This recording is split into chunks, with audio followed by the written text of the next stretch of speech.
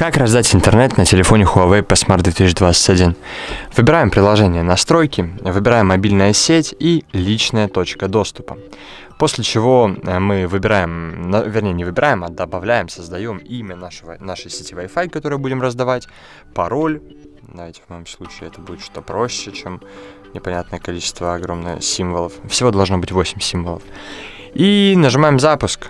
Все, точка доступа запущена.